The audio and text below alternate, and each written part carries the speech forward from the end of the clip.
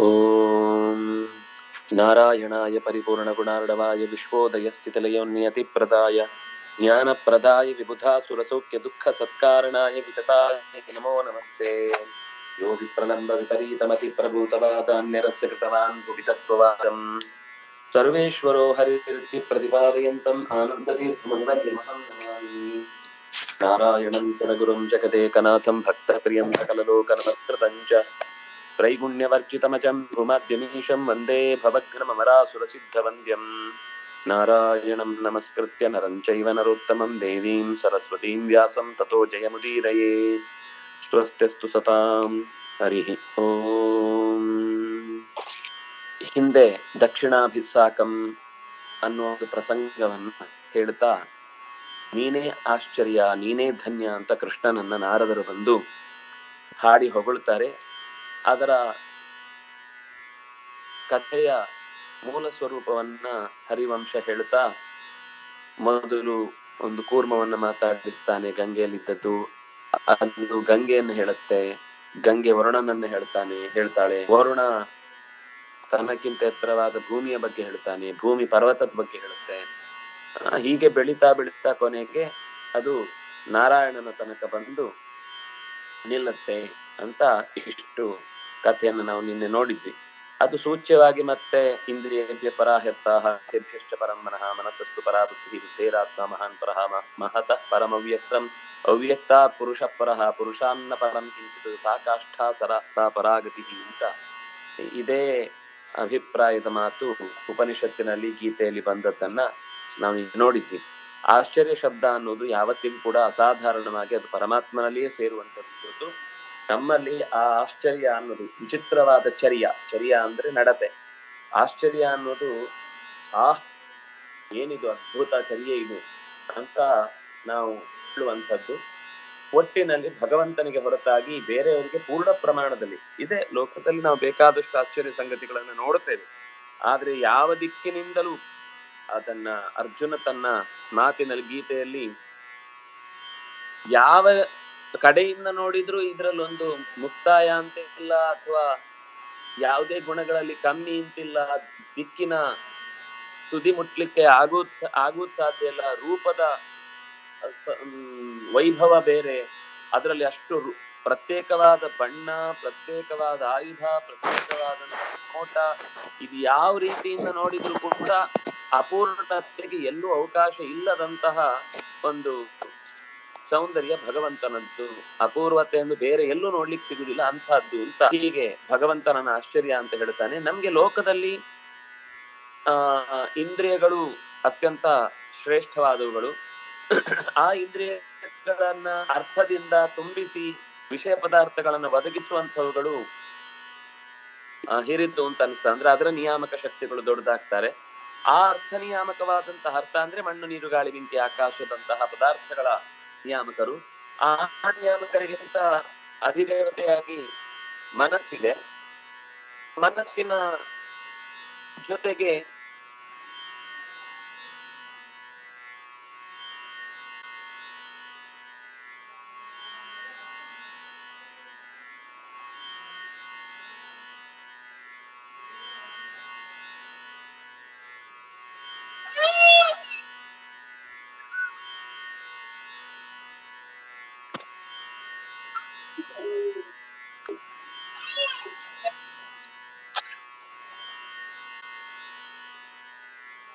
ಮನಸ್ಸಿನ ಜೊತೆಗೆ ಸೇರಿಕೊಳ್ಳುವಂಥದ್ದು, ಅಂದ್ರೆ ಮುಂದಿನ ಹಂತದಲ್ಲಿ ಸೇರಿಕೊಳ್ಳುವಂಥದ್ದು ಬುದ್ಧಿ. ಬುದ್ಧಿಗಿಂತ ಬುದ್ಧಿ ತತ್ವದ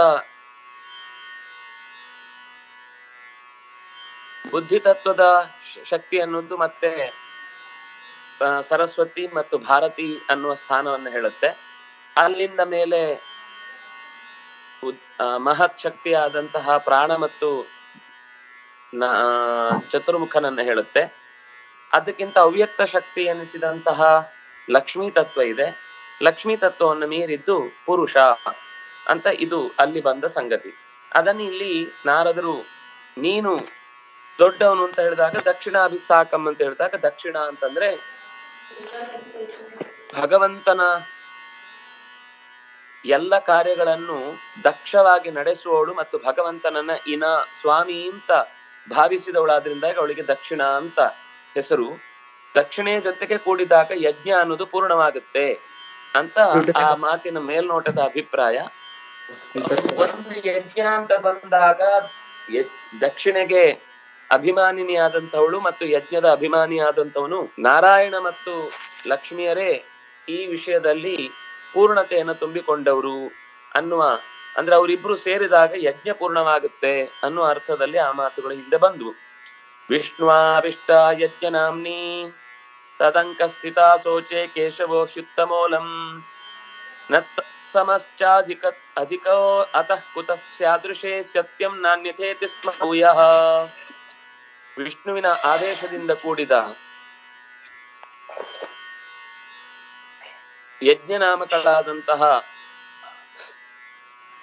ಲಕ್ಷ್ಮೀದೇವಿ, ಅಂದ್ರೆ ಯಜ್ಞ ಅಂತ ನಾರಾಯಣನಿಗೆ ಹೆಸರಿದೆ. ಈಗ ಇಲ್ಲಿ ಭಗವಂತನನ್ನೇ ತಿಳಿದವಳು ಜ್ಞ ಅನ್ನಿಸಿದಂತಹ ಭಗವಂತನನ್ನೇ ತಿಳಿಯುವ ಪ್ರಯತ್ನ ಮಾಡಿದವಳು. ಆದ್ರಿಂದ ಅವಳನ್ನು ಯಜ್ಞ ಅಂತ ಕರೆದ್ರು. ಅವಳು ಭಗವಂತನ ತೊಡೆಯ ಮೇಲೆ ಕುಳಿತು, ಕೇಶವನೇ, ಎಲ್ಲರಿಗಿಂತ ಮಿಗಿಲಾದ ಶಕ್ತಿ ಅಂತ ಭಗವಂತನನ್ನ ಪ್ರಾರ್ಥನೆ ಮಾಡ್ತಾಳೆ. ಕೇಶವನೇ, ಮಿಗಿಲಾದ ಶಕ್ತಿ ಅನ್ನೋದನ್ನ ಅಲ್ಲಿ ಸ್ತೋತ್ರ ಮಾಡ್ತಾಳೆ ಹೇಳ್ತಾಳೆ ಎಲ್ಲರ ಜೊತೆಗೆ. ಆದ್ರಿಂದಾಗಿ ಅಂತಹ ಒಂದು ಎತ್ತರದ ಶಕ್ತಿಯಾಗಿ ಭಗವಂತ ಇದ್ದಾನೆ ಅಂತ ಋಷಿ ಹತ್ರ ಹೇಳ್ತಾಳೆ, ಋಷಿ, ಇದು ಸತ್ಯ. ನಾಣ್ಯಥಾ ಇದು ಬೇರೆ ಆಗುದು ಸಾಧ್ಯ ಇಲ್ಲ. ಇದು ಸತ್ಯಂ. ಕೃತಸ್ಯ ಋಷಿ, ಇದು ಬಿಟ್ಟು ಬೇರೆ ಯಾವುದು ಸತ್ಯ ಆಗ್ಲಿಕ್ಕೆ ಸಾಧ್ಯ? ನ ತತ್ ಸಮಹ, ನ ತದ್, ನ ತದಧಿಕ. ಅವನಿಗೆ ಸಮನಾದವರಾಗ್ಲಿ, ಅವನಿಗಿಂತ ಹಿರಿಯರಾದವರಾಗ್ಲಿ, ಯಾರೂ ಕೂಡ ಇರ್ಲಿಕ್ಕೆ ಸಾಧ್ಯ ಇಲ್ಲ. ಅಂತ ಈ ರೀತಿ ಅವಳೇ ಸ್ತೋತ್ರ ಮಾಡ್ತಾಳೆ ಭಗವಂತನನ್ನ. ಆದ್ರಿಂದಾಗಿ ಅವಳು ಹೇಳಿದ್ದು ನಾ, ಅದು ಮೇಲೋಟಕ್ ನೋಡುವಾಗ ಏನ್ ಅನ್ಸುತ್ತೆ ಅಂದ್ರೆ ಲಕ್ಷ್ಮಿಯ ಜೊತೆಗಿದ್ರೆ ಮಾತ್ರ ಭಗವಂತನಿಗೆ ಅರ್ಥ ಅಂತ. ಅವಳು ಹೇಳುದೇನು ಅಂದ್ರೆ, ಭಗವಂತನ ಕರುಣೆ ಅದು. ನನ್ನನ್ನ ಪ್ರತಿಯೊಂದು ಕೆಲಸದಲ್ಲಿ ಜೋಡಿಸಿಕೊಳ್ತಾನೆ ಅಂತ ಅನ್ನೋದು ಆದ್ರೆ ಅವನು ಕೊಟ್ಟ ಭಾಗ್ಯ ಎಲ್ಲದರಲ್ಲೂ ಕೂಡ ತನ್ನ ಮಡದಿಯಾದವಳು ಇರ್ಬೇಕು ಅಂತ ಹೇಳುದು ಕೇವಲ ಪ್ರೀತಿಯೇ ಅಲ್ಲ. ಯೋಗ್ಯತೆ ಅನುಗುಣವಾಗಿ ಕಾರ್ಯವನ್ನ ಯಾರ್ಯಾರಿನ ಎಷ್ಟೆಷ್ಟು ಹೇಗೆ ಹೇಗೆ ತೆಗಿಬೇಕು ಅನ್ನೋದನ್ನ ತಿಳಿದವನಾದ್ರಿಂದಾಗಿ ಅವನು ಈ ರೀತಿ ಎಲ್ಲದರಲ್ಲೂ ನಮ್ಮನ್ನು ಜೋಡಿಸ್ತಾನೆ. ತಯಾ ಉಕ್ತೋಹಂ ನಾವತಾರೇಶು ಕಶ್ಚಿತ್ ವಿಶೇಷ ಇತ್ಯೇವ ಯದು ಪ್ರವೀರಂ ಸರ್ವೋತ್ತಮೋಸೀತ್ಯವದಂ ಸಚಾಹ ನ ಕೇವಲಂ ಮೇಂಗಕ ಮೇಂಗಕಾಯ ಶ್ರೀಯೋಹಂ. ಈ ರೀತಿ ಯಜ್ಞ ಅನ್ನುವ ಹೆಸರಿನಿಂದ ಲಕ್ಷ್ಮಿ ನಾರದರನ್ನ ಕುರಿತು ಹೇಳಿದ್ದೇನು ಅಂದ್ರೆ, ನಾರಾಯಣನ ಬೇರೆ ಬೇರೆ ಅವತಾರಗಳಲ್ಲಿ ಯಾವುದು ಯಾವುದಕ್ಕಿಂತಲೂ ಹಿರಿದು ಕಿರಿದು ಅನ್ನುವ ಭೇದ ಇಲ್ಲ. ಎಲ್ಲವೂ ಭಗವಂತನ ಉತ್ಕೃಷ್ಟವಾದ ಗುಣಗಳಿಂದಲೇ ತುಂಬಿಕೊಂಡಿದೆ. ಸದಾ ಉತ್ತಮ. ಕಿಂತು ಯದಾತು ಸಾಮೆ ವಾಮಾರ್ಧ ರೂಪ ದಕ್ಷಿಣ ನಾಮಧೇಯ. ಯಸ್ಮಾತ್ ತಸ್ಯ ದಕ್ಷಿಣತ ಸ್ಥಿತೋಹಂ ತಸ್ಮಾನ್ ನಾಮ್ನ ದಕ್ಷಿಣೇತ್ಯೇವ ಸಾ ನನ್ನ ತೊಡೆಯಲ್ಲಿ ಲಕ್ಷ್ಮೀದೇವಿ ಕುಳಿತಿದ್ದಾಳೆ. ಅವಳು ಅವನ, ಇದು ನಾರಾಯಣ ಹೇಳುವಾಗ, ನನ್ನ ಎಡಗಡೆಯೇ ಅವಳಾಗಿ ಬಿಟ್ಟಿದ್ದಾಳೆ ವಾಮಾರ್ಧ ರೂಪ ಸದಾ ಉತ್ತಮ. ನಾನು ಅವಳಿಗಿಂತ ಉತ್ತಮನೇ. ಆದ್ರೆ ಕಿಂತು ಯಥಾತು ಸಾ ಮೇ ವಾಮಾರ್ಧ ರೂಪ ಅವಳೇ ನನಗೆ ದಕ್ಷಿಣದ ಸ್ಥಾನದಲ್ಲಿ ನಿಂತು ವಾಮಸ್ಥಾನದಲ್ಲಿ ಪೂರ್ತಿ ಸಮಗ್ರವಾಗಿ ಅವಳೇ ತುಂಬಿಕೊಂಡಿದ್ದಾಳೆ. ದಕ್ಷಿಣದಲ್ಲಿ ಕೂತಿದ್ದಾಳೆ. ವಾಮದಲ್ಲಿ ಅವಳೇ ಇದ್ದಾಳೆ. ದಕ್ಷಿಣ ನಾಮಧೇಯ ಸಮಗ್ರ ಶರೀರದ ಅರ್ಧ ಭಾಗ ಆಕೆಯೇ ಆಗಿದ್ದಾಳಾದ್ರಿಂದಾಗಿ ನಿಮ್ಗೆ ಏನು ಅಂತ ಅರ್ಥ ಆಗ್ಲಿಕ್ಕಿಲ್ಲ. ಈಗ ನಾನು ಹೇಳಿದ ಶಬ್ದ ಏನು ಅಂತ ಎಲ್ಲ ಕನ್ಫ್ಯೂಷನ್ ಅಲ್ಲಿ ಇದ್ದೀರಿ ಅನ್ಸುತ್ತೆ. ಅವಳು ಎಡಭಾಗದಲ್ಲಿ ಇದ್ದಾಳೆ ಅಂದ್ರೆ ಎಡಭಾಗದ ಲಕ್ಷ್ಮಿಗೆ ಬಲದಲ್ಲಿರೋನು ಯಾರು? ನಾರಾಯಣ. ಅದು ದಕ್ಷಿಣ. ದಕ್ಷಿಣ ಅಂದ್ರೆ ಬಲಭಾಗ ಅಂತ ಅರ್ಥ. ನಾರಾಯಣನನ್ನು ದಕ್ಷಿಣದಲ್ಲೇ ಇರಿಸಿಕೊಂಡವಳು ಯಾರು ಅಂದ್ರೆ ದಕ್ಷಿಣ. ದಕ್ಷನಾದ ಸ್ವಾಮಿ ತನ್ನ ದಕ್ಷಿಣ ಭಾಗದಲ್ಲಿ ಇದ್ದಾನೆ ಆದ್ರಿಂದಾಗಿ ಅವಳಿಗೆ ದಕ್ಷಿಣ ಅಂತ ಕರೆದು, ಅವಳು ಎಡಭಾಗದಲ್ಲೇ ಇರುವುದು. ಎಡಭಾಗ ಅನ್ನೋದೇ ಸಮಗ್ರವಾಗಿ ಲಕ್ಷ್ಮಿಗೆ ಬಿಟ್ಟು ಕೊಟ್ಟಿದ್ದಾನೆ ಇದು ನಿನ್ನ ಜಾಗ ಅಂತ. ಆ ಲಕ್ಷ್ಮಿ ತನ್ನ ಎಡಸ್ಥಾನದಿಂದ ಬಲಕ್ಕೆ ಭಗವಂತನನ್ನು ಯಾವಾಗಲೂ ನೆನಪಿಸಿಕೊಡು, ದಕ್ಷ ಅಂದ್ರೆ ಸಮರ್ಥನಾಗಿದ್ದಾನೆ, ಸರ್ವೋತ್ತಮನಾಗಿದ್ದಾನೆ, ಸ್ವಾಮಿ ಆಗಿದ್ದಾನೆ ಅಂತ ನಿರಂತರ ಅವಳು ಚಿಂತಿಸೋಳಾದ್ರಿಂದಾಗಿ ಅವಳನ್ನ ದಕ್ಷಿಣ ಅಂತ ಚಿಂತಿಸ್ಬೇಕು ಅಂತ. ನಾವು ಲಕ್ಷ್ಮಿಯನ್ನ ದಕ್ಷಿಣ ಅಂತ ಚಿಂತಿಸಿದ್ರೆ ದೇವರ ಉತ್ತಮತ್ವನೂ ಗೊತ್ತಾಗುತ್ತೆ. ಸಂಪತ್ತಿನ ದೇವತೆ ಆಗಿರುವವಳು ತನ್, ತನ್ನ ಯಜಮಾನನನ್ನ ಸರಿಯಾಗಿ ಅರ್ಥೈಸಿಕೊಂಡಿದ್ದಾನೆ ಈ ಭಕ್ತ ಅನ್ನುವ ಕಾರಣಕ್ಕಾಗಿ ಸಂಪತ್ತನ್ನ ಸುರಿಸ್ತಾಳೆ. ಯಾವಾಗ ಭಗವಂತನ ಬಗ್ಗೆ ತಿಳ್ಕೊಳ್ಳದೆ ಕೇವಲ ಸಂಪತ್ತು ಬೇಕು ಅಂತ ಕೇಳಿದಾಗ್ಲೂ ಸಂಪತ್ತು ಕೊಡ್ತಾಳೆ. ಆದ್ರೆ ಕೊಟ್ಟ ಸಂಪತ್ತು ಯಾವತ್ತು ಸತ್ಕರ್ಮಕ್ಕೆ ಉಪಯೋಗ ಆಗಲ್ಲ. ನಾವ್ ಎಲ್ಲೆಲ್ಲೋ ಮಾಲ್ಗಳಿಗೆ ಹೋಗಿ ಎರಡು ನಿಮಿಷದಲ್ಲಿ ಖರ್ಚು ಮಾಡೋ ದುಡ್ಡಾಗಿ ಬಳಸ್ಕೊಂಡ್ಬಿಡ್ತೇವೆ.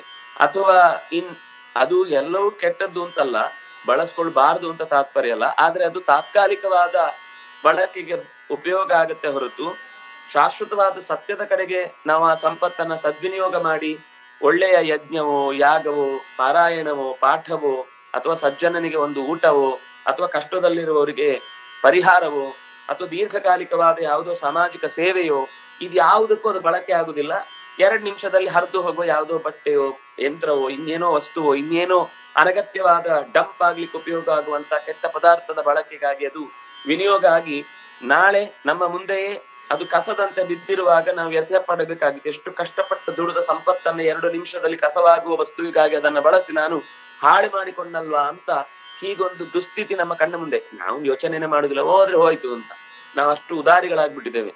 ಅದರಿಂದ ಮುಂದೆ ಶಾಶ್ವತವಾದ ಒಂದು ಸತ್ಯವನ್ನ ಸಂಪತ್ತನ್ನ, ಪುಣ್ಯವನ್ನ, ಭಗವಂತನ ಪ್ರೀತಿಯನ್ನ, ದೊಡ್ಡವರ ಅನುಗ್ರಹವನ್ನ ಪಡ್ಕೊಳ್ಳಿಕ್ಕೆ ಇದೇ ಸಂಪತ್ತನ್ನ ಸರಿಯಾಗಿ ಉಪಯೋಗಿಸಿದ್ರೆ ಎಷ್ಟು ಲಾಭ ಇತ್ತು ಅನ್ನೋ ನಮ್ಗೆ ಗೊತ್ತಿಲ್ಲ ಅದರಿಂದಾಗಿ ನಮ್ಗೆ ಈಗ ಕಳೆದು ಹೋದ್ರು ಅಥವಾ ವ್ಯರ್ಥ ಆದ್ರು ಅಥವಾ ವೇಸ್ಟ್ ಆದ್ರು ಅಥವಾ ಇನ್ನೇನೋ ದುರುಪಯೋಗ ಆದ್ರು ನಮ್ಗೆ ಅದರ ಬಗ್ಗೆ ಕಾಳಜಿ ಅಂತ ಅನ್ಸುದಿಲ್ಲ. ಆದ್ರೆ ಭಗವಂತನ ಎಚ್ಚರದ ಜೊತೆಗೆ ಲಕ್ಷ್ಮಿ ಯಾವಾಗ್ಲೂ ತನ್ನ ಎಡ ಸ್ಥಿತಿಯಲ್ಲಿ ಇದ್ದು ದೇವರೇ ಎಲ್ಲದಕ್ಕಿಂತ ದೊಡ್ಡವನು ಅಂತ ಹೇಳ್ತಾ ಇದ್ದಾಳೆ ಅಂತ ನಾವು ಚಿಂತನೆ ಮಾಡಿದ್ರೆ ನಮ್ಮ ಸಂಪತ್ತು ಕೂಡ ಸದ್ವಿನಿಯೋಗ ಆಗುತ್ತೆ ಅನ್ನುವ ಒಂದು ಎಚ್ಚರ ನಮ್ಗೆ ಇರ್ಲಿ ಅನ್ನುವ ದೃಷ್ಟಿಯಿಂದ ಈ ಕಥೆಯ ಅಂಶವನ್ನ ಭಗವಂತ ಧನ್ಯ ಧನ್ಯ ಅಂದ್ರೆ ಸಂಪತ್ತುಳ್ಳವನು, ಎಂಥ ಸಂಪತ್ತು ಅಂತ ನಿನ್ನೆ ನೋಡಿದ್ವಿ ನಾವು. ಅದು ಕಾಂತಿಯ ಸಂಪತ್ತಿರ್ಬೋದು, ವಿದ್ಯೆಯ ಸಂಪತ್ತಿರ್ಬೋದು, ಅಧಿಕಾರದ ಸಂಪತ್ತಿರ್ಬೋದು, ರೂಪದ ಸಂಪತ್ತಿರ್ಬೋದು, ನಮಗೆ ಏನೇನು ಜಗತ್ತಿನಲ್ಲಿ ದೊಡ್ಡದು ಅಂತ ಅನಿಸುತ್ತೋ ಆ ಎಲ್ಲಾ ತರದ ಜ್ಞಾನದ ಸಂಪತ್ತಿಗೂ ಕೂಡ ಮೂಲ ಒಡೆಯ ಅವನೇ ಅನ್ನೋದನ್ನ ಧನ್ಯ ಅನ್ನುವ ಶಬ್ದದಿಂದ, ಆಶ್ಚರ್ಯ ಅಂತ ಅನ್ನುವ ಶಬ್ದದಿಂದ ಉಲ್ಲೇಖ ಮಾಡಿದ್ರು. ಹೀಗೆ ನೀನೇ ಉತ್ಕೃಷ್ಟ ಅಂತ. ಅಥವಾ ನೀನು ಜೊತೆಗಿದ್ದಾಗ ನಾನು ಉತ್ಕೃಷ್ಟ ಅಂತ ದೇವರು ಹೇಳಿದ್ದು ದಕ್ಷಿಣಾದಿ ಸಾಕಂ ಅಂತ ನಾನು ದಕ್ಷಿಣೆ ಯಾವಾಗ್ಲೂ ನನ್ನ ಜೊತೆಗಿರ್ತಾಳೆ ಅಂತ ಹೇಳಿದ್ದಷ್ಟೇ ಹೊರತು ದಕ್ಷಿಣೆಯೇ ದೊಡ್ಡವಳು ಅಂತ ಹೇಳಿದ್ದಲ್ಲ ಅಂತ ಲಕ್ಷ್ಮಿಯೇ ನಾರದರಿಗೆ ಬಿಡಿಸಿ ಹೇಳುವಾಗ ಇದು ಉಳಿದ ಋಷಿಗಳಿಗೆ, ರಾಜರಿಗೆ, ಉಳಿದ ಜನಗಳಿಗೆ ಅದು ಒಂದು ಹೊಸ ಪಾಠವಾಗಿ ಸಿಗುತ್ತೆ. ಅದರಿಂದಾಗಿ ಅವಳ ಬಳಗಡೆಯಲ್ಲಿ ನಾನು ಇದ್ದೇನೆ ಆದ್ರಿಂದಾಗಿ ನ- ನಾನು ಅವಳ ದಕ್ಷಿಣದ ಭಾಗದಲ್ಲಿ ಇದ್ದೇನೆ ಆದ್ರಿಂದಾಗಿ ನನ್ನನ್ನ ಭಗವಂತನ ಸ್ಥಾನದಲ್ಲಿ ಉತ್ತಮ ಅಂತ ಗುರುತಿಸಿ ಅವಳೇ ಹೇಳಿದ್ದು ದಕ್ಷಿಣ ಅನ್ನುವ ಹೆಸರಿನಿಂದ ಪ್ರಸಿದ್ಧಳಾದದ್ದು ಅಂತ ಇಷ್ಟು ಹೇಳಿದ್ರು. ಸದಾ ಉತ್ತಮ, ಯಾವಾಗ್ಲೂ ಉತ್ತಮನೇ. ಕಿಂತು ಆದ್ರೆ ಯದಾ ಸಾತು ಮೇ ಅವಳು ನನಗೆ ವಾಮಾರ್ಧ ರೂಪ, ನನ್ನ ದೇಹದ ಎಡಭಾಗದ ಅರ್ಧ ರೂಪಳಾಗಿದ್ದಾಳೆ, ಯಸ್ಮಾತ್ ಯಾವ ಕಾರಣದಿಂದಲೋ ತಸ್ಯಾಹ ದಕ್ಷಿಣದ ಸ್ಥಿತೋಹಂ. ಅವಳ ದಕ್ಷಿಣದ ಭಾಗದಲ್ಲಿ ನಾನಿದ್ದೇನೆ. ಆದ್ರಿಂದಾಗಿ ಅವಳು ತನ್ನನ್ನ ದಕ್ಷಿಣ ಅಂತ ಗುರುತಿಸಿಕೊಂಡಿದ್ದಾಳೆ. ಶಾಸ್ತ್ರ ಅವಳನ್ನ ದಕ್ಷಿಣ ಅಂತ ಕರೆದಿದೆ. ನಾನು ಅವಳ ದಕ್ಷ ಭಾಗದಲ್ಲಿ ಸ್ವಾಮಿಯಾಗಿ. ಇನ ಅಂದ್ರೆ ಸ್ವಾಮಿ ಅಂತ ಅರ್ಥ. ಇನ ಅಂದ್ರೆ ಬೆಳಕಿನ ರೂಪ ಅಂತ ಅರ್ಥ. ಇನ ಅಂದ್ರೆ ಜ್ಞಾನದ ದೇವತೆ ಅಂತ. ಈ ಎಲ್ಲ ಶಕ್ತಿಯಾಗಿ ನಾನು ದಕ್ಷಿಣದಲ್ಲಿ ಇದ್ದೇನೆ ಆದ್ರಿಂದಾಗಿ ಅವಳನ್ನ ದಕ್ಷಿಣ ಅಂತ ಕರಿತಾಳೆ. ಅವಳ ನನ್ನ ಜೊತೆಗೆ ಯಾವಾಗ್ಲೂ ಇರ್ತಾಳೆ. ದಕ್ಷಿಣ ಮಾನಿನಿ ದೇವತಾ ಬಹುರೂಪ ಮದರ್ಥ. ವಾಮಾರ್ಧೋ ಹಿ ತತ್ಪ್ರವಿಷ್ಟೋ ಯತೋ ಹಿ ತಥೋಹಂ ಸ್ಯಾಂ ಅರ್ಧನಾರಾಯಣಾಖ್ಯ ಸಾ ದಕ್ಷಿಣ ಮಾನಿನಿ ದೇವತಾ ದಕ್ಷಿಣ ಅಂದ್ರೆ ಇನ್ನೊಂದು ಸಂಪತ್ತು ನಾವು ಯಜ್ಞದಲ್ಲಿ ಯಜ್ಞವನ್ನು ನಡೆಸಿದಂತಹ ಹಿರಿಯರಿಗೆ ಕೊಡುವಂತಹ ಒಂದು ಉಪಾಯನ, ಉಡುಗೊರೆ. ಆ ಆ ಉಡುಗೊರೆಯಲ್ಲಿ ಅಭಿಮಾನಿನಿಯಾಗಿ ಅವಳಿರ್ತಾಳೆ. ಆ ಆ ದೇವತೆಯಾದಂತಹ ಅಥವಾ ಯಜ್ಞದಲ್ಲಿ ಯಾರಿಗೆ, ಅದು ಕೇವಲ ಅವರಿಗೆ ಅಂತಲ್ಲ, ಇನ್ಯಾರಿಗೆ ನಾವು ಹಿರಿಯರಿಗೆ ಕರೆದು ದಾನ, ದಕ್ಷಿಣೆ ಅಂತ ನಾವು ಹೇಳ್ತೇವಲ್ಲ, ಅದು ದಾನದ ಹೊತ್ತಿಗೆ ಮಾಡುವ ದಕ್ಷಿಣೆ ಕೊಡುವ ಅಂಶ ಏನಿದೆ, ಅಲ್ಲಿ ಲಕ್ಷ್ಮಿಯ ಸ್ಥಿತಿ ಇದೆ. ಆ ಲಕ್ಷ್ಮಿಯನ್ನು ಕೊಡುವಾಗ ಅದ್ರ ಜೊತೆಗೆ ತುಳಸಿ ಇಟ್ಟು, ನೀರ್ ಬಿಟ್ಟು, ನಾವು ಒಟ್ಟಿಗೆ ಕೊಡುವುದರ ಉದ್ದೇಶ ಇದು ಲಕ್ಷ್ಮೀನಾರಾಯಣರ ಸನ್ನಿಧಾನದಿಂದ ಕೂಡಿದ ಸಂಪತ್ತನ್ನು ನಿನಗೆ ಕೊಡ್ತಾ ಇದ್ದೇನೆ. ಅಂದ್ರೆ ನಮ್ಮ ಮನೆಯಲ್ಲಿ ಇದು ಇನ್ನಷ್ಟು, ಯಾವಾಗ್ಲೂ ನೀರು ಮೇಲಿನದ್ದು ಹರಿದು ಬರ್ಬೇಕು ಅಂದ್ರೆ ಕೆಳಗಿನ ನೀರು ಹರಿದು ಹೋಗ್ಲಿಕ್ಕೆ ಜಾಗ ಇರಬೇಕು. ಆವಾಗ ಹರಿದು ಬಂದದ್ದು ಚೆನ್ನಾಗಿ ಶುದ್ಧವಾಗಿ ಉಳಿಯುತ್ತೆ.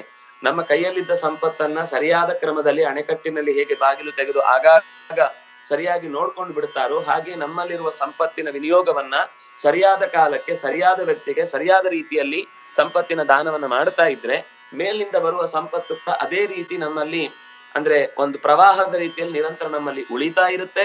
ಅದರಿಂದ ಸದ್ವಿನಿಯೋಗ ಆಗ್ತಾ ಇರುತ್ತೆ, ಪುಣ್ಯ ಸಂಪಾದನೆ ಆಗ್ತಾ ಇರುತ್ತೆ. ನಾಲ್ಕು ಜನಕ್ಕೆ ಸಾಮಾಜಿಕ ಉಪಕಾರ ಆಗ್ತಾ ಇರುತ್ತೆ. ನಮ್ಮ ಮನೆಯಲ್ಲೂ ಒಬ್ರು ಸಜ್ಜನರು ಬಂದ್ರು ಅಂತ ಅನ್ನೋ ನೆಮ್ಮದಿ ಇರುತ್ತೆ. ಆ ಆತಿಥ್ಯದಿಂದಾಗಿ ಮನೆಯಲ್ಲಿ ಸಾತ್ವಿಕವಾದ ಎನರ್ಜಿಯೂ ತುಂಬಿಕೊಳ್ಳುತ್ತೆ. ಹೀಗೆ ಎಷ್ಟೆಷ್ಟು ಸಂಬಂಧಗಳು, ಎಷ್ಟೆಷ್ಟು ಅದ್ಭುತವಾದ ಫಲಗಳು ನಮ್ಮ ನಿತ್ಯದಲ್ಲಿ ಅಥವಾ ಕನಿಷ್ಠ ಪಕ್ಷ ಯಾವಾಗ್ಲೂ ಒಂದು ಒಳ್ಳೆಯ ಒಕೇಶನ್ ಬಂದಾಗ, ಸಂದರ್ಭ ಬಂದಾಗ ಮನೆಯಲ್ಲಿ ಒಂದು ಒಳ್ಳೆಯ ಕಾರ್ಯವನ್ನು ನಡೆಸುವುದರಿಂದ ಒಂದು ಇಡೀ ಎನರ್ಜಿ ಮನೆಯ ಪರಿಸರವನ್ನು ತುಂಬಿಕೊಳ್ಳುತ್ತೆ. ಆ ತುಂಬಿಕೊಳ್ಳುವ ಶಕ್ತಿಯಾಗಿ ದಕ್ಷಿಣ ಮಾನಿನಿ ಎನಿಸಿ ಈ ದೇವತೆ ಇದ್ದಾಳೆ, ಬಹುರೂಪ. ಅವಳು ಅನೇಕ ರೂಪಗಳನ್ನು ತೊಟ್ಟಿದ್ದಾಳೆ. ಸಂಪತ್ತು ಅನ್ನೋದು ಕೇವಲ ದುಡ್ಡಿನಲ್ಲಿ ಮಾತ್ರ ಇರುವುದಲ್ಲ. ಅದು ಲೋಹಗಳ ರೂಪದಲ್ಲಿರ್ಬೋದು, ಭೂಮಿಯ ರೂಪದಲ್ಲಿರ್ಬೋದು, ಧನದ ರೂಪದಲ್ಲಿರ್ಬೋದು, ಧಾನ್ಯದ ರೂಪದಲ್ಲಿರ್ಬೋದು ಪಶು ಪಕ್ಷಿಗಳ ರೂಪದಲ್ಲಿರ್ಬೋದು, ನೆಮ್ಮದಿಯ ರೂಪದಲ್ಲಿರ್ಬೋದು, ನಾವು ಒಳ್ಳೆಯ ಚರ್ಯೆಯನ್ನ ನಡೆಸುವುದರಲ್ಲಿರ್ಬೋದು ಕಾಂತಿಯಲ್ಲಿರ್ಬಹುದು ಒಳ್ಳೆಯ ಮಾತಿನಲ್ಲಿರ್ಬೋದು ಲಕ್ಷ್ಮೀರ್ ನಿಹಿತಾಧಿವಾಚಿ ಮಾತು ಅನ್ನೋದು ಲಕ್ಷ್ಮಿಯ ದೊಡ್ಡ ಸ್ಥಾನ ಅಂತ ಮಾತು ಇದೆ. ನಾವು ಕೆಟ್ಟ ಮಾತಾಡ್ತಾ ಇರ್ತೇವೆ ಅಂತಂದ್ರೆ ಕೆಡುಕನ್ನೇ ಎಲ್ಲರಿಗೂ ಬಯಸಿ ಮನಸ್ಸಿನಲ್ಲಿ ಹಾಳು ಮಾಡ್ತೇವೆ ಅಂದ್ರೆ ಅಲ್ಲಿ ಅಲಕ್ಷ್ಮಿ ಸೇರ್ಕೊಳ್ತಾಳೆ. ಯಾವಾಗ ನಾವು ಒಳ್ಳೆ, ಒಳ್ಳೆಯ ಮಾತುಗಳನ್ನ ಆಡ್ತಾ, ಒಳ್ಳೆಯ ರೀತಿಯಲ್ಲಿ ಚಿಂತನೆ ಮಾಡ್ತಾ, ಒಳ್ಳೆಯ ಜನರಿಗೆ ಸಹಾಯ ಮಾಡ್ತಾ, ಸಂಪತ್ತಿನ ಸದ್ವಿನಿಯೋಗ ಮಾಡ್ತಾ ಇದ್ದೇವೆ ಅಂತಂದಾಗ ಲಕ್ಷ್ಮಿ ಮತ್ತೆ ಬೇರೆ ಎಲ್ಲೂ ಹೋಗುದಿಲ್ಲ. ಅವಳು ತಾನೇ ಬಂದು ನಮ್ಮ ಮನೆಯ ಹೊಸ್ತಿಲಲ್ಲಿ ನೆಲೆಸಿ ನಮ್ಮ ಮನೆಗೆ ಬೇಕಾದ ಸಂಪತ್ತನ್ನು ತಂದು ಸುರಿತಾ ಇರ್ತಾಳೆ ಅಂತ ಪುರಾಣಗಳು ಬೇರೆ ಬೇರೆ ಕಡೆಯಲ್ಲಿ ಬೇರೆ ಬೇರೆ ಘಟನೆಗಳ ಮೂಲಕ ತಿಳಿಸ್ತಾ ಇರುತ್ತೆ. ಅವಳಿಗೆ ಬಹುರೂಪ, ನನ್ನ ಅರ್ಧಳಾದವಳು, ನನ್ನ ಅರ್ಧಾಂಗಿನಿ ವಾಮಾರ್ಧೋಮಿ ತತ್ ಪ್ರವಿಷ್ಟೋಹಂ. ನನ್ನ ಭಾಗದಿಂದ ತುಂಬಿದವಳು ಅಷ್ಟೇ ಅಲ್ಲದೆ, ನನ್ನ ಎಡಭಾಗ ಅವಳಲ್ಲಿ ತುಂಬಿಕೊಂಡಿದೆ. ಅಂದ್ರೆ ಎಡಭಾಗದಲ್ಲಿ ನಮ್ಗೇನ್ ಅನ್ಸುತ್ತೆ ಅಂದ್ರೆ ಅರ್ಧ ಲಕ್ಷ್ಮಿ ಅಂದ್ರೆ ಅರ್ಧ ನಾರಾಯಣ ಇಲ್ಲ ಅಂತ. ನಾರಾಯಣ ಇಲ್ಲ ಅಂತಲ್ಲ, ನಾರಾಯಣ ಆ ಅರ್ಧದಲ್ಲಿ ತುಂಬಿಕೊಂಡಿದ್ದಾನೆ. ಆ ಲಕ್ಷ್ಮಿ, ವಿಷ್ಣುವಿನ ಆವೇಶ, ವಿಷ್ಣು ಅಂದ್ರೆ ಪ್ರವೇಶ ಮಾಡುವುದು ಅಂತ ಅರ್ಥ. ಎಲ್ಲದರೊಳಗೆ ಪ್ರವೇಶ ಮಾಡುವ ಶಕ್ತಿ ಎಡದಲ್ಲಿರುವಂತ ಲಕ್ಷ್ಮಿಯನ್ನು ಪ್ರವೇಶಿಸಿಯೇ ನಿಂತಿರುವಂತದ್ದು ಅವಳಲ್ಲಿರುವ ಆ ಚೆಲುವು, ಅವಳಲ್ಲಿರುವ ಶಕ್ತಿ, ಅವಳಲ್ಲಿರುವಂತಹ ಗುಣಧರ್ಮ, ಅವಳಲ್ಲಿರುವ ಸಾಮರ್ಥ್ಯ, ಅವಳಲ್ಲಿರುವ ಸಂಪತ್ತಿನ ಅಭಿಮಾನಿತ್ವಕ್ಕೆ ಎಲ್ಲದಕ್ಕೂ ನನ್ನ ಆ ಅಂತರ್ಯಾಮಿ ರೂಪವೇ ಕಾರಣ. ಆದ್ರಿಂದಾಗಿ ನಮ್ಮನ್ನು ಅರ್ಧನಾರಾಯಣ ಅರ್ಧನಾರಾಯಣ ನಾರೀಶ್ವರ ಅನ್ನುವ ಶಬ್ದಗಳಿಂದ ಕರೀತಾರೆ. ಶ್ಯಾಮ್ ಅಹಂ ಅರ್ಧನಾರಾಯಣಾಖ್ಯ ಅವಳಲ್ಲಿಯೂ ಅರ್ಧ ಇದ್ದು, ನಾನು ಅರ್ಧವಾಗಿ ನಿಂತು, ಅರ್ಧ ಅಂದ್ರೆ ನಮಗೆ, ಅರ್ಧ ಅಂದ್ರೆ ನಮ್ಗೆ ಗೊತ್ತಿರೋದು ಒಂದನ್ನ ಎರಡು ಪಾಲ್ ಮಾಡಿದಾಗ ಸಿಗುದು. ಅಲ್ಲಿ, ಇಲ್ಲಿ ಅರ್ಧ ಅಂದ್ರೆ ಆ ಸಮಂತಾತ ವೃದ್ಧ ಅಂತ ಪೂರ್ಣ ಪ್ರಮಾಣಕ್ಕೆ ಅರ್ಧ ಅಂತ ಕರೆಯುವುದು ಆ ವೃದ್ಧ ವೃದ್ಧ ಅಂದ್ರೆ ವೃದ್ಧ ವೃದ್ಧ ಅಂದ್ರೆ ಬೆಳೆದದ್ದು ಬೆಳೆದದ್ದು ಅಂದ್ರೆ ತುಂಬಿದ್ದು. ತುಂಬಿದ ಶಕ್ತಿಯಾಗಿ ನನ್ನನ್ನ ನಾರಾಯಣ ಅಂತ ಕರೀತಾರೆ. ನಮ್ಗೆ ಅರ್ಧ ಅಂದ್ರೆ ಅರ್ಥ ಆಗುದು, ಲೋಕದ ಒಂದರ್ಥ ಮಾತ್ರ. ಆದ್ರೆ ಅದಕ್ಕೆ ಶಬ್ದಕ್ಕೆ ಪ್ರಧಾನವಾದ ಅರ್ಥ ಏನು ಅಂದ್ರೆ ಅರ್ಥ ಅಂದ್ರೆ ತುಂಬಿಕೊಂಡದ್ದು ಅಂತ ಅರ್ಥ. ಅಂಶ ಅನ್ನುವ ಅರ್ಥದಲ್ಲಿ ಅರ್ಧ ಶಬ್ದ ಇದೆ, ಇಲ್ಲ ಅಂತ ಹೇಳುತ್ತಿಲ್ಲ. ಅದು ಇನ್ನೂ ತುಂಬಿಕೊಳ್ಳಿಕ್ ಆದ್ರಿಂದ ಅದಕ್ಕೆ ಅರ್ಧ ಅಂತ. ಇಲ್ಲಿ ಹೇಳ್ತಾ ಇರೋದು ತುಂಬಿದ್ದು ಅಂತ. ತುಂಬಿಕೊಳ್ಳಿಕ್ಕಿರುವುದು ಒಂದರ್ಥ, ತುಂಬ್ಲಿಕ್ಕಿರುವುದು ಒಂದರ್ಥ. ಈಗ ಅರಿಷ್ಟ ಅನ್ನೋ ಶಬ್ದಕ್ಕೆ ಕೆಟ್ಟದ್ದು ಅಂತಾನು ಒಂದು ಅರ್ಥ ಇದೆ, ಒಳ್ಳೇದು ಅಂತಾನು ಅರ್ಥ ಅಲ್ಲೇ, ಒಂದೇ ಶಬ್ದ ಹೇಗ್ರಿ, ಕೆಟ್ಟದ್ದು? ಲೋಕದಲ್ಲಿ ಅದು ಆ ಪ್ರಯೋಗ ಆಗಿದೆ ಅರಿಷ್ಟಾನಿ ಪ್ರಣಶ್ಯಂತು ಧಿರಿತಾನಿ ಭಯಾನಿ ಚ, ಶಾಂತಿರಸ್ತು ಶುಭಾಂಶ್ಚಾಸ್ತು ಗ್ರಹ ಕುರುವಂತು ಮಂಗಲಂ ಅಂತ ಕೇಳುವಾಗ ಅರಿಷ್ಟಾನಿ ಪ್ರಣಶ್ಯಂತು ಪ್ರಣಶ್ಯಂತು ನಾಶವಾಗಲಿ ಅಂತ ಕೇಳ್ತಾರೆ. ಇನ್ನೊಂದು ಕಡೆ ಅರಿಷ್ಟಂಚ ಅ- ಅಸ್ತ್ವಕ್ಷತಮರಿಷ್ಟಂಚ ಅಂತ ಕೇಳುವಾಗ ನಮಗೆ ಅರಿಷ್ಟ ಆಗಲಿ ಅಂತ ದೇವತೆಗಳನ್ನ ಪ್ರಾರ್ಥಿಸಿ ಕೇಳುವಂಥದ್ದಿದೆ.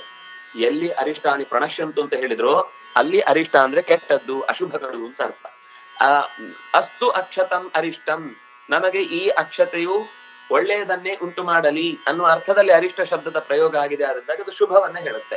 ಅಶುಭವನ್ನ ಹೇಳುವ ಶಬ್ದವೇ ಶುಭವನ್ನು ಹೇಳುತ್ತೆ. ಹಾಗೆ ವೃದ್ಧ ಅನ್ನೋದು ತುಂಬಿದ್ದು ಅನ್ನುವ ಅರ್ಥದಲ್ಲಿ ಇದೆ.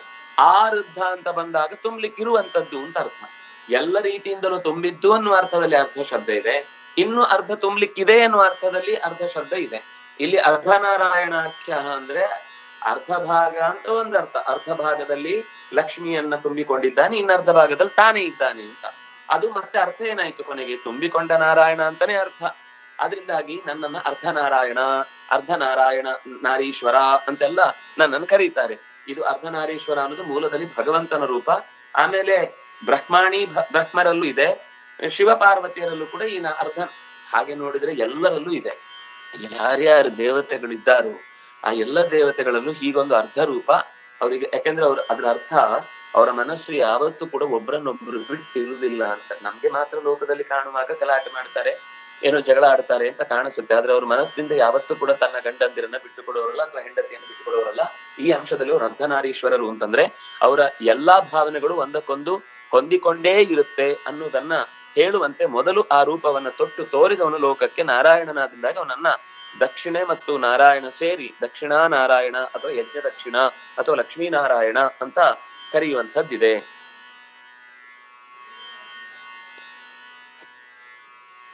ತಥಾಪ್ಯಸ್ಯ ಉತ್ತಮೋಹಂ ಸುಪೂರ್ಣೋ ನಮಾದೃಶ ಮಾದೃಶಃ ಕಶ್ಚಿದಸ್ತ್ಯುತ್ತಮೋ ಇತ್ಯೇವಾವಾದೀತ್ ದಕ್ಷಿಣಾಭಿಃ ಸಹೇತಿ ಸರ್ವೋತ್ತಮತ್ವಂ ದಕ್ಷಿಣಾನಾಂ ಸ್ಮರನ್ ಸಹ.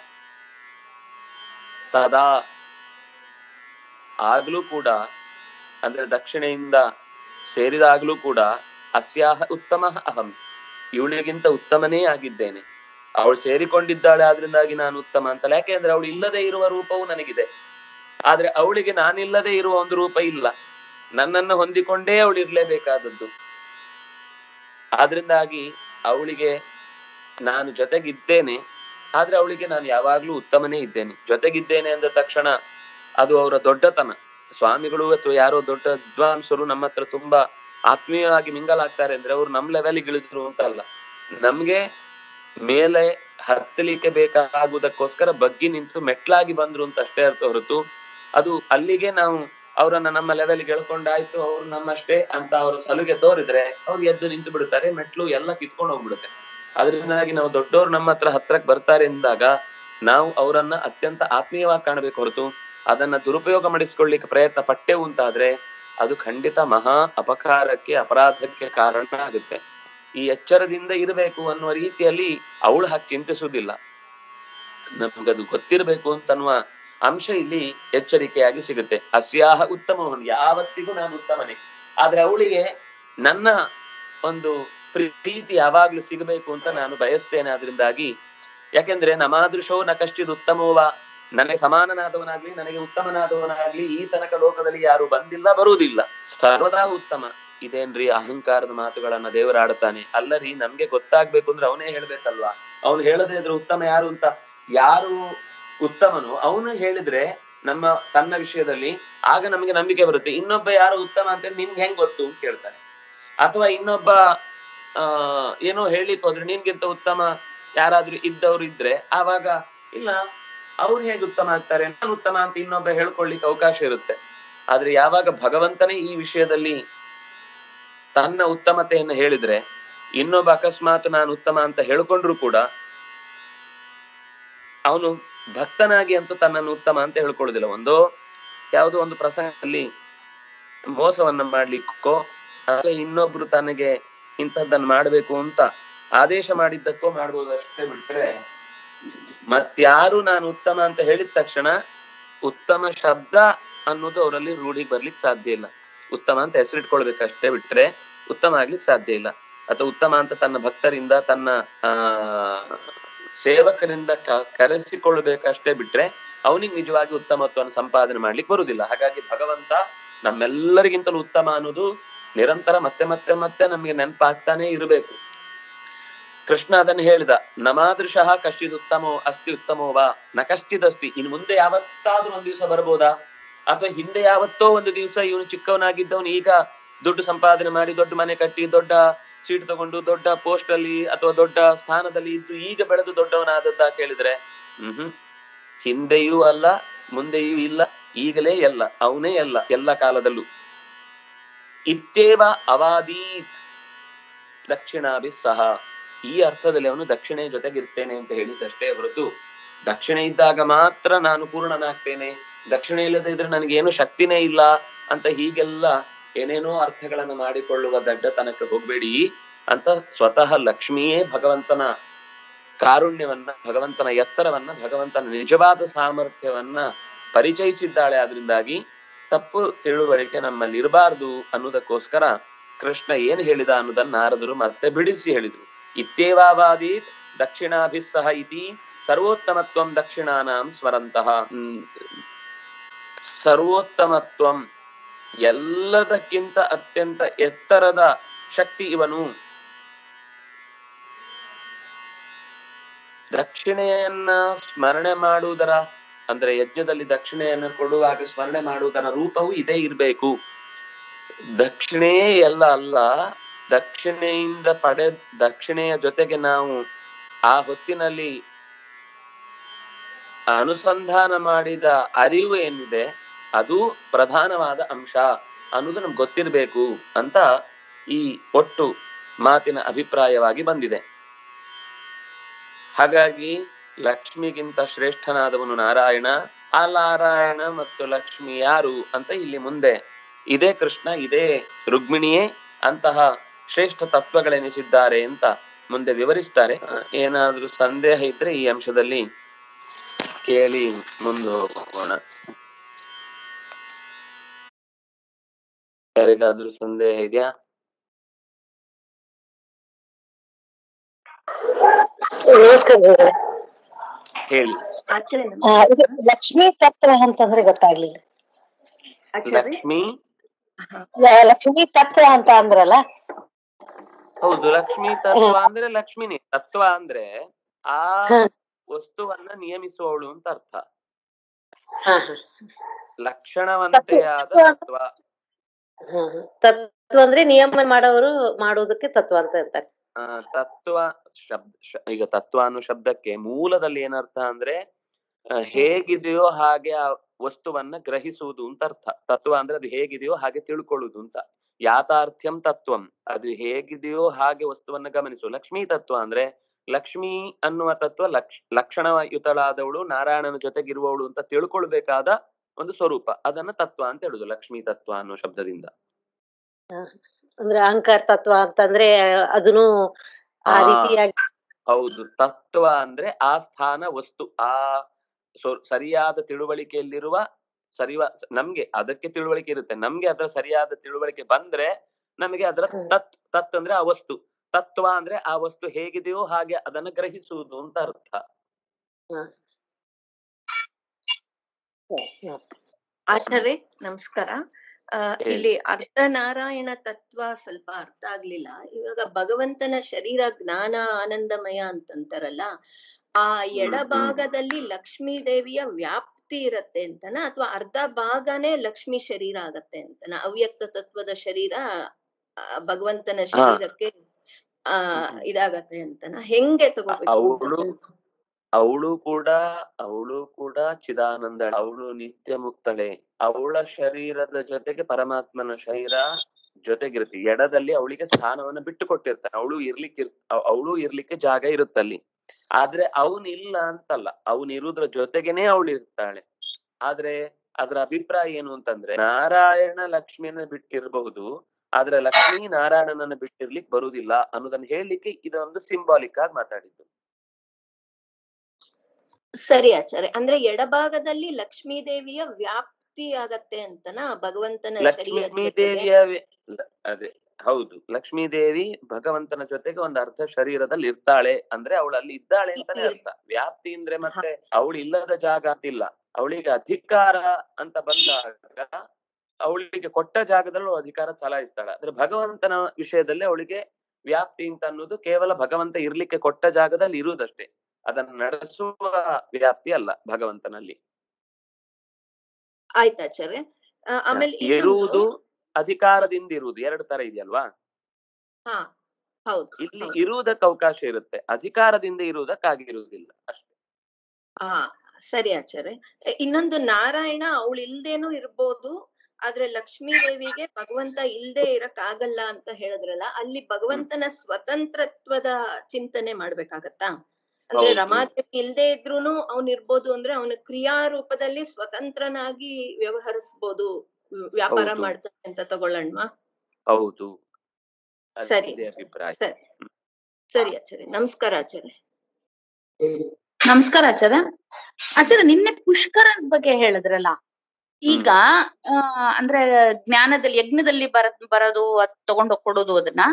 ಈಗ ಈ ಪುಷ್ಕರ ವರ್ಡ್ ಮೀನಿಂಗ್ ವರ್ಸಸ್ ಬ್ರಹ್ಮದೇವರದು ಕಮಲ ಬಿದ್ದಿದ್ದ ಆ ಪುಷ್ಕರಕ್ಕೂನು ನನ್ಗೆ ಇದ್ದಕ್ಕಿದ್ದಂಗೆ ಇದೆರಡು ಕಾರಿಲೇಟ್ ಮಾಡಕ್ಕೆ ನಾನ್ ಪ್ರಯತ್ನ ಮಾಡಿದೆ. ನಾನ್ ನನಗ್ ಅರ್ಥ ಆಗ್ತಿಲ್ಲ. ನಂಗಲ್ಲಿ ಕ್ಲಾರಿಟಿ ಬರ್ತಾ ಇಲ್ಲ ಎರಡಕ್ಕೂನು. ಈಗ ಅದು ಬೇರೆ ಮೀನಿಂಗ್ ಇದು ಬೇರೆ ಮೀನಿಂಗ್ ಅಂದ್ರೆ ಒಂದೇ ವರ್ಡ್ ಎರಡ್ ಮೀನಿಂಗ್ಸ್ ಇದೆ ಅಂತ ತಗೋಬೇಕಾ? ಹೌದು ಪುಷ್ಕರ ಅಂತ ಒಂದು ದೇವತೆ ಅಂತ ತಗೊಂಡಾಗ ನಿಮ್ಗದು ಕರ್ಮ ಅಭಿಮಾನಿ ಅಲ್ಲಿ ಬಂದದ್ದು ಆ ಆ ಪ್ರ- ಪ್ರತಿಜ್ಞೆ ಮಾಡುವುದು ಅಂತ ಬರುತ್ತಲ್ವಾ ಕಥೆಯಲ್ಲಿ? ಅದು ಕರ್ಮವನ್ನ ನಡೆಸಿದ್ದಾರೆ ಎಲ್ರು ಅಂತ ಅನ್ನೋ ಅರ್ಥದಲ್ಲಿ ಇಟ್ಕೊಳ್ಬಹುದು ಬಿಟ್ರೆ ಪುಷ್ಕರಣಿಗೂ ನೇರ ಆ ಶಬ್ದಕ್ಕೂ ಅಲ್ಲಿ ಸಂಬಂಧ ಏನ್ ಹೇಳ್ಬೇಕಾಗಿಲ್ಲ. ಬೇರೆನೆ ಅರ್ಥದಲ್ಲಿ ಬರ್ಬೋದು. ಈ ವರ್ಡ್ಸ್ ಒಂದೇ ತರ ಇದ್ದು ಬೇರೆ ಬೇರೆ ಅರ್ಥ ಕೊಟ್ಟಾಗ ತುಂಬಾ ಕನ್ಫ್ಯೂಷನ್ಸ್ ಆಗುತ್ತೆ. ಇವಾಗ ನೋಡಿ ನಾರಾಯಣಿದು ಲಕ್ಷ್ಮೀ ದಿಗ್ ಹೇಳಿದ್ರಲ್ಲ ಇದೇ ತರ ಇವತ್ತು ಹಂಗೆ ಆಗಿದ್ದು. ಒಂದೇ ತರ ಇದು ತುಂಬಾ ಕನ್ಫ್ಯೂಷನ್ಸ್ ಕ್ರಿಯೇಟ್ ಆಗ್ತಾ ಇದೆ. ಏನಿಲ್ಲ. ತತ್ವದ ಸ್ವರೂಪ ನಮ್ಗೆ ಸರಿ ಅರ್ಥ ಆದ್ರೆ ಅದ್ರಲ್ಲಿ ಯಾರು ಎಲ್ಲಿ ಬಂದ್ರು ಕೂಡ ಅವ್ರವ್ರ ಸ್ಥಾನದಲ್ಲೇ ಅವ್ರು ಇರ್ತಾರೆ ಹೊರತು ಅವ್ರು ಮೀರಿ ಹೋಗಲ್ಲ. ಈಗೇನ್ ಕನ್ಫ್ಯೂಷನ್ ಆಯ್ತು? ಅಲ್ಲ ಈಗ ಪುಷ್ಕರ ವರ್ಡ್ ನಿನ್ನೆ ಬಂತು. ಈಗ ನೀವು ಪುಷ್ಕರ ಅಂತ ಹೇಳ್ತೀವಿ ಹೇಳ್ತಿದ್ರೆ ಮತ್ತೆ ಅಲ್ಲಿ ಬ್ರಹ್ಮದೇವ್ರ ಕಮಲದ ಇದು ಬಿದ್ದಿತ್ತಳ ಅದಕ್ಕೋಸ್ಕರ ಅಲ್ಲಿ ಅಂತ ಹೀಗೆ ಅಂದ್ರೆ ರಾಜಸ್ಥಾನ್ ಪುಷ್ಕರ್ನ ಹೇಳ್ತಿರೋದು ಅಲ್ಲಿದು. ಈಗ. ಇದ್ದಕ್ಕಿದ್ದಂಗೆ ಇದು ಅಲ್ಲಿ ಪುಷ್ಕರ ಅದು ಒಂದ್ ಊರಿನ ಹೆಸರೇ ವಿನಃ ಇಲ್ಲಿಗೆ ಕರ್ಮದೇವತೆ ಅಂತಂದಾಗ ಇದೇನಿದ್ ಹಿಂಗೆ ಎರಡೆರಡು ಅರ್ಥ ಕೊಡ್ತಾ ಇದೆ ಒಂದೇ ಪದಕ್ಕೆ ಅಂತ ಒಂದು ಮನ್ಸಲ್ಲಿ ಶುರುವಾಗಿ. ಎರಡ ಒಂದೇ ಪದಕ್ಕೆ ನೂರಾರು ಅರ್ಥ ಇರುತ್ತೆ. ಈಗ ಗೋವು ಅಂತಂದ್ರೆ ಬರೀ ಹಸು ಮಾತ್ರ ಅಲ್ಲ. ಗೋವು ಅಂದ್ರೆ ವೇದವೂ ಹೌದು. ಗೋವು ಅಂದ್ರೆ ಭೂಮಿಯೂ ಹೌದು. ಗೋವು ಅಂದ್ರೆ ಕಣ್ಣು ಹೌದು. ಗೋವು ಅಂದ್ರೆ ಸೂರ್ಯನೂ ಹೌದು. ಗೋವು ಅಂದ್ರೆ ವಿಶ್ವನೂ ಹೌದು. ಗೋವು ಅಂದ್ರೆ ಕೂದ್ಲು ಹೌದು. ಆ ಎಲ್ಲಾ ಅರ್ಥ ಪರಿ ಪ್ರಸಂಗಕ್ಕೆ ಸರಿಯಾಗಿ ಸಂದರ್ಭ ನೋಡ್ಕೊಂಡು ಅದು ಎಲ್ಲಿ ಅರ್ಥ ಬರುತ್ತೆ ಅಂತ ನೋಡ್ಕೊಂಡು ಅದಕ್ಕೆ ಹಿರಿಯರು ಇನ್ನ ಏನ್ ವ್ಯಾಖ್ಯಾನ ಹೇಳಿದ್ರೆ ಅಂತ ನೋಡ್ಕೊಂಡು ಆ ಅರ್ಥವನ್ನ ನೆನಪಿಸ್ಕೊಳ್ಬೇಕು ಜೋಡಿಸ್ಕೊಳ್ಬೇಕು. ಕನ್ಫ್ಯೂಷನ್ ಆಗ್ಲಿಕ್ಕೆ ಏನಿಲ್ಲ. ತಲೆ ಎಲ್ಲಿ ನಾವು ಎಚ್ಚರದಲ್ಲಿ ಇದ್ದೀವಾ ಅನ್ನೋದನ್ನ ಪರೀಕ್ಷೆ ಮಾಡ್ಲಿಕ್ಕೆ ಆ ಶಬ್ದಗಳು ಹಾಗೆ. ಮತ್ತೆ ಅದು ಸೊಗಸದು. ಆ ಭಾಷೆಯ ಸೊಗಸದು. ಹಾಗೆ ವೈಶಿಷ್ಟ್ಯ ಅರ್ಥಗಳು ಬರುದು. ಸರಿ. ಆಯ್ತು ಅಚ್ಚರ್ ನಮಸ್ಕಾರ. ಸಮಾಧಾನ. ಆಗ್ಲಿಲ್ಲ? ಇರ್ಲಿ. ಹೌದು. ಇರ್ಲಿ ಬಿಡಿ. ಹ್ಮ್. ಅದು ಹೋಗ್ತಾ ಹೋಗ್ತಾ ಕ್ಲಿಯರ್ ಆಗುತ್ತೆ. ನೀವು ಒಂದೇ ಸರ್ತಿ ಎಲ್ಲ ಹೀಗೆ ಸರಿ ಬರ್ಬೇಕು ಅಂದ್ರೆ ಆಗುದಿಲ್ಲ. ಒಂದೇ ಸರ್ತಿ ಯಾವ್ದು ಪಾತ್ರೆ ಕ್ಲೀನ್ ಆಗುದಿಲ್ಲ. ತೊಳೆದು ತೊಳೆದು ಮಸಿ ಹಿಡಿದ ಪಾತ್ರೆ ಆದ್ರೆ ಸ್ವಲ್ಪ ಜಾಸ್ತಿ ದಿವಸ ತೊಳಿಬೇಕಾಗತ್ತೆ. ಸರಿ ನಮಸ್ಕಾರ ನಮಸ್ತೆ. ಆ ಒಂದ್ ವಿಷಯ ಹೊಳಿತು ನಂಗೆ ಅಂದ್ರೆ ಅರ್ಥ ಮಾಡ್ಕೊಳಕ್ಕೆ ನಾನು ಅರ್ಥ ಮಾಡ್ಕೊಂಡ್ರೆ ಸರಿನಾ ಅಂತ ಅಂದ್ರೆ ಏನಂದ್ರೆ ಇವಾಗ ದೇವತೆಗಳು ಆಮೇಲೆ ಇವಾಗ ಒಬ್ರಿಗಿಂತ ಒಬ್ರು ಆ, ಶ್ರೇಷ್ಠ ಅಂತ ಹೇಳಿದಾಗ ಅಹ್ ಆಧಾರ ಅಂದ್ರೆ ಯಾರ ಆಶ್ರಯದಲ್ಲಿ ಯಾರ ಆಶ್ರಯ ಕೊಟ್ಟಿರ್ತಾರೋ ಅವ್ರು ಶ್ರೇಷ್ಠ ಶ್ರೇಷ್ಠ ಅಂತ ಹೋಗುತ್ತೆ. ಅದೇ ನಮ್ಮ ದೇಹದ ವಿಷಯದಲ್ಲಿ ನೋಡಿದಾಗ ನಮ್ ನಮ್ಮ ವಿಷಯದಲ್ಲಿ ನೋಡಿದಾಗ ಮಾನವರ ವಿಷಯದಲ್ಲಿ ಸ್ಥೂಲ್ ಸೂಕ್ಷ್ಮ ಸೂಕ್ಷ್ಮ ಆಗ್ತಾ ಹೋಗುತ್ತೆ. ಅದು ಶ್ರೇಷ್ಠ ಶ್ರೇಷ್ಠ ಅಂತ ಅಲ್ವಾ? ಅಂದ್ರೆ ಮನಸ್ಸು ಗಿಂತ ಜೀವ ಶ್ರೇಷ್ಠ ಆ ತರ ಅಲ್ವಾ? ಹ್ಮ್ ಹ್ಮ್ ಹ್ಮ್. ಹ. ಸರಿ ಥ್ಯಾಂಕ್ ಯು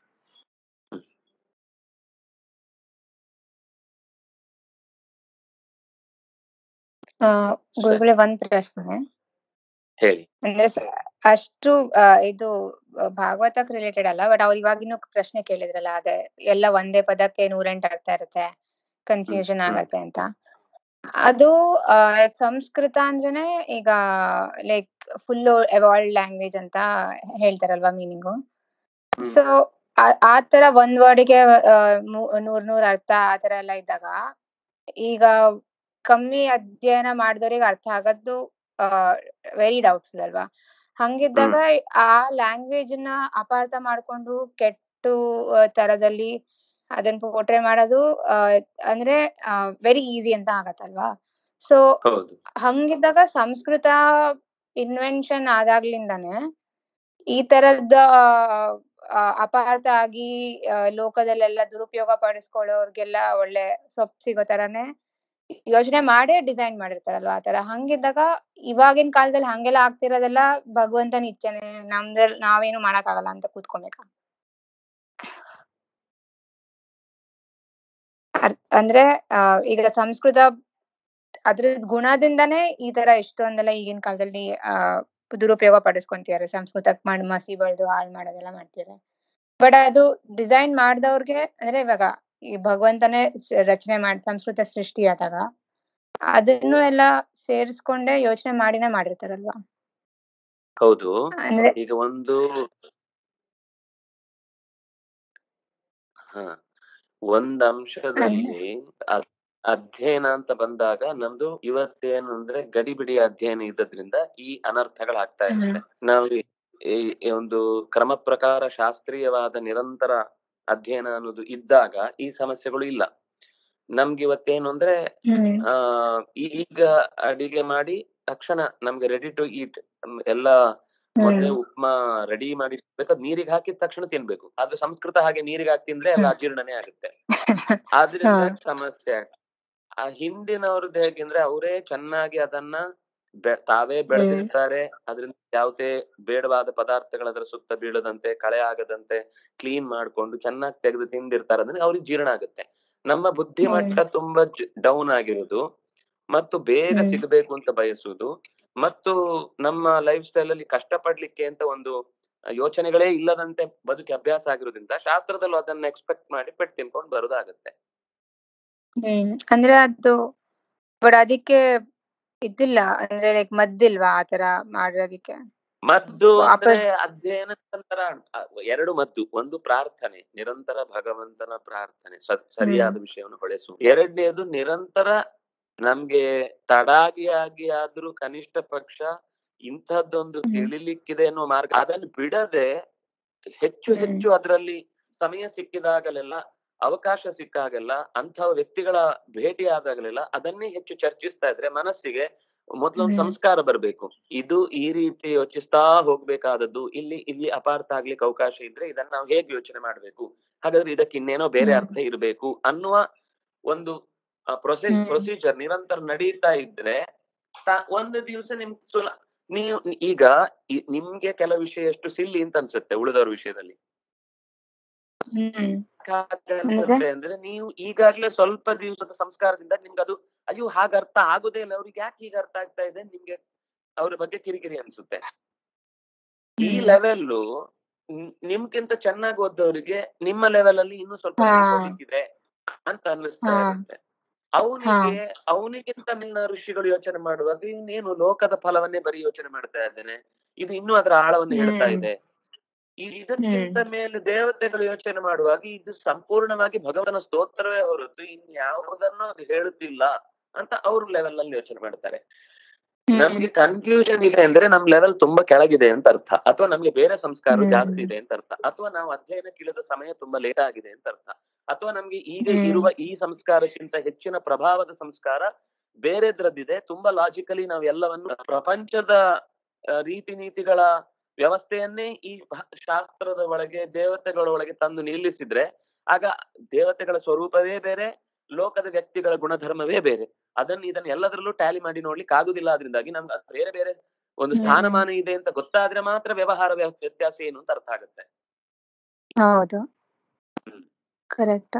ಅದೇ ಅಂದ್ರೆ ಈಗ ಬಟ್ ಈಗಿನ ಕಾಲದಲ್ಲಿ ಲೈಕ್ ಎಲ್ಲ ಸಂಸ್ಕೃತಕ್ ಮಣ್ಣು ಇದು ಮಸಿ ಬಳಿಯವ್ರಿಗೆಲ್ಲ ನಾವು ತಡಿಯಕ್ಕೇನು ನಾವು ಮಾಡಕ್ಕಾಗಲ್ಲ. ಬಿಕಾಸ್ ಅವ್ರಿಗೆ ಅರ್ಥ ಮಾಡ್ಲಿಕ್ಕೆ? ಅವ್ರ ಅವ್ರಲ್ಲಿ ಅಷ್ಟು ಸಂಸ್ಕಾರ ಇರಲ್ಲ. ಇಲ್ಲ. ಆದ್ರಿಂದ ನಾವು ಚೆನ್ನಾಗಿ ಓದುದು ಒಂದೇ ದಾರಿ ನಮ್ಗೆ. ಹ್ಮ್. ಅವರ ಬಲೆಗೆ ನಾವು ಸಿಕ್ಕದಂತೆ ನಮ್ಮನ್ನು ರಕ್ಷಿಸಿಕೊಳ್ಬೇಕು. ಹ್ಮ್. ಸ್ಮಿತಾ ಅವ್ರೆ ಅದಕ್ಕೆ ಆ ಬ್ರಿಟಿಷರೆಲ್ಲ ಹಾ. ಹ್ಮ್. ಅದಕ್ಕೆ ಬ್ರಿಟಿಷರು ಹೇಳಿ. ಕರೆಕ್ಟ್ ಆಗಿ ಗುರು ಪರಂ ಗುರು ಶಿಷ್ಯ ಪರಂಪರೆಗೆ ಕರೆಕ್ಟ್ ಆಗಿ ಕೊಡ್ಲಿ ಹಾಕಿದ್ದು ಅದಕ್ಕೆ ಅನ್ಸುತ್ತೆ. ಈ ತರ ಆಗ್ಲಿ ಹ್ಮ್. ಅಂತ ಹೌದು ಹ್ಮ್. ಅಲ್ಲಿಗೆ ಅಲ್ಲಿಗೆ ಓಕೆ ಓಕೆ. ಹ್ಮ್. ಸರಿ ಗುರುಗಳೇ ಧನ್ಯವಾದ. ಸ್ಮಿತಾ ಅವ್ರ ಏನು ಹೇಳುದಿದ್ಯಾ? ಆ ಏನಂದ್ರೆ ನನ್ಗನ್ಸಿದ್ದು ಇವಾಗ ಹೇಳಿದ್ರಲ್ಲ ಸುಪ್ರಿಯಾ ಅವರು ಆ ಇವಾಗ ಎಲ್ಲಾರು ಅಂದ್ರೆ ಎಲ್ಲ ಕೆಡ್ತಾ ಇದೆ ಅಂದ್ರೆ ಯಾರಿಗೂ ಅಷ್ಟು ಅಧ್ಯಯನ ಸರಿಗಿಲ್ಲ ಅಂತ. ಬಟ್ ಇದೇ ಟೈಮಲ್ಲೇ ಇರೋ ಸರಿಯಾಗಿರೋ ಅಂದ್ರೆ ಅಧ್ಯಯನ ಚೆನ್ನಾಗಿ ಮಾಡೋರು ಇದಾರೆ ಅನ್ನೋದು ನಾವು ನೆನಪಿಸ್ಕೋಬೇಕು ಅಂತ. ಅಂದ್ರೆ ಆ. ದಾರಿಲಿ ನಾವ್ ನಡಿಬೇಕು ಅಂತ. ಸುಮ್ನೆ ನಂಗೆ ಅನ್ಸಿದ್ ಹೇಳ್ದೆ ಅಷ್ಟೇ. ಹ್ಮ್ ಹ್ಮ್. ಹ್ಮ್. ಸರಿ. ನಮ್ಮ ಪ್ರಯತ್ನ ಪ್ರಾಮಾಣಿಕವಾಗಿರಲಿ. ನಮ್ಮ ಪ್ರಾರ್ಥನೆ ಸ್ಪಷ್ಟವಾಗಿ ಸ್ವಚ್ಛವಾಗಿ ಭಗವಂತನಲ್ಲಿ ಭಕ್ತಿಪೂರ್ವಕವಾಗ್ಲಿ. ದಾರಿ ಖಂಡಿತ ಕಾಣಿಸುತ್ತೆ. ಎಷ್ಟೇ ಹಾಳಾಗ್ಲಿ ಏನೇ ಆಗ್ಲಿ. ಅದರ ಬೀಜವನ್ನ ದೇವರು ಎಲ್ಲಿ ಬಿತ್ತಬೇಕು ಅಂತ ಇರ್ತಾನೋ ಅಲ್ಲಿ. ಬಿತ್ತಿಯೇ ಬಿಡ್ತಾನೆ. ಅದರ ಫಲ ಸಿಕ್ಕೇ ಸಿಗುತ್ತೆ. ಸಮಗ್ರವಾಗಿ ನಾಶವಾಗಿ ಜಗತ್ತು ಹಾಳಾಗುತ್ತೆ ಅನ್ನೋದು ಏನೂ ಅಲ್ಲ. ಇಪ್ಪತ್ತೆಂಟ್ ಇಪ್ಪತ್ತೇಳು ಸರ್ತಿ ಹೀಗೆ ಕಲಿಯುಗಗಳು ಬಂದು ಹೋಗಿದೆ. ಬರೀ ಈ ಮನ್ವಂತರದಲ್ಲಿ ನಾನು ಹೇಳ್ತಾ ಇರೋದು. ಇದಕ್ಕಿಂತ ಹಿಂದಿನ. ಆರು ಮನ್ವಂತರಗಳಲ್ಲಿ ಎಪ್ಪತ್ತೊಂದ್ ಸಲ ಎಪ್ಪತ್ತೊಂದ್ ಸಲ ಎಪ್ಪತ್ತೊಂದ್ ಸಲ ಬಂದು ಹೋಗಿ ಆಗಿದೆ. ಇಂತ ಕಲಿಯುಗವನ್ನ ದೇವತೆಗಳು ಋಷಿಗಳು ದೊಡ್ಡವರು ಜೀವಿಸಿ ನೋಡಿ ಅನುಭವಿಸಿ ಇದಕ್ಕೆಲ್ಲ ಸೊಲ್ಯೂಷನ್ ಅಂತ ತಿಳ್ಕೊಂಡೆ ಅವ್ರ ಅಂದವಾಗಿ ನಮ್ ಜೊತೆಗೆ ನಮ್ಮನ್ನ ರಕ್ಷಿಸ್ಲಿಕ್ಕೋಸ್ಕರ. ಯಾವಾಗ್ಲೂ ಇರ್ತಾರೆ. ನಾವು ನಮ್ ಕೆಲಸವನ್ನ ಪ್ರಾಮಾಣಿಕವಾಗಿ ಮಾಡೋಣ. ಕಷ್ಟ ಆಗತ್ತೆ ಖಂಡಿತ ಹೌದು. ಆದ್ರೆ ಆ ಕಷ್ಟದಲ್ಲಿ ಒಂದು ಪಡೀಬೇಕಾದ ಆ ಸುಖದ ಒಂದು ಮೊಟ್ಟೆ ಇದೆ. ಅದನ್ನ ನಾವು ಕೊಡುವ ಕೆಲಸಕ್ಕೆ ಸ್ವಲ್ಪ ನಮ್ಮ ನಮ್ಮನ್ನು ನಾವು ಹೆಚ್ಚು ಆ ಒಡ್ಡಿಕೊಳ್ಬೇಕು ಅನ್ನೋದಷ್ಟೇ ನಮ್ಗೆ ಇರ್ಬೇಕಾದ ಎಚ್ಚರ. ಹ್ಮ್. ಸರಿ ಗುರುಗಳೇ. ರಾಮ್ ರಾಮ್.